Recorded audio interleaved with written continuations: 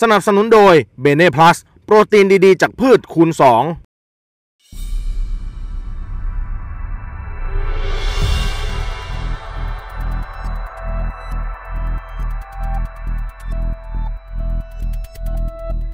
ตำรวจชุดสืบสวนจับกลุ่มเจ้าแม่ดอกเบี้ยเงินกู้โหด รับต่อพรบบังหน้า หากจ่ายช้าโพสต์ขู่ประจาน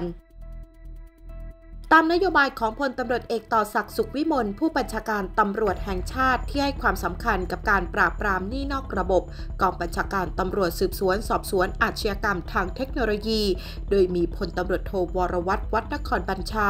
ได้สั่งการให้เร่งระดมกวาดล้างจับกลุ่มผู้กระทำความผิดเกี่ยวกับหนี้นอกระบบ โดยเฉพาะอย่างยิ่ง กลุ่มเจ้าหนี้ที่มีพฤติการใช้ความรุนแรงในการทวงหนี้ ถือเป็นการเอารัดเอาเปรียบประชาชน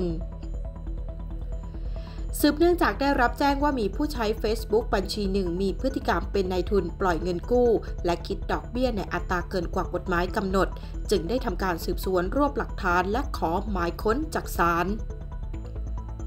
จากการสืบสวนทราบว่าเจ้าของบัญชี Facebook พักอาศัยอยู่ที่บ้านหลังหนึ่งในตำบลเทพนคร อำเภอเมืองกำแพงเพชร เจ้าหน้าที่ตำรวจพร้อมด้วยหัวหน้าชุดเข้าจับกลุ่มนางสาวอัมพาในฐานความผิด ประกอบธุรกิจสินเชื่อส่วนบุคคลโดยไม่ได้รับอนุญาต และตรวจยึดสมุดบัญชีธนาคารสีเล่ม โทรศัพท์มือถือที่ใช้โพสต์ข้อความใน Facebook และรถจักรยานยนต์ Honda Dream ที่รับจับนำไว้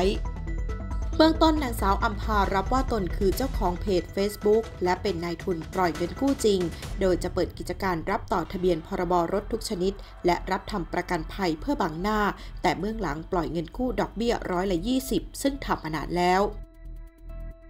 จากการลงพื้นที่สอบถามชาวบ้านที่เคยกู้เงินกับนางสาวอัมพาเล่าว่าเคยกู้ยืมเงินมาแล้ว รู้ว่าดอกเบี้ยมันโหด และเกินที่กฎหมายกำหนด แต่ด้วยความจำเป็นต้องใช้เงินด่วน และด้วยสภาพเศรษฐกิจปัจจุบันทำให้ไม่สามารถหาเงินมาใช้คืนค่าดอกเบี้ยนี้ได้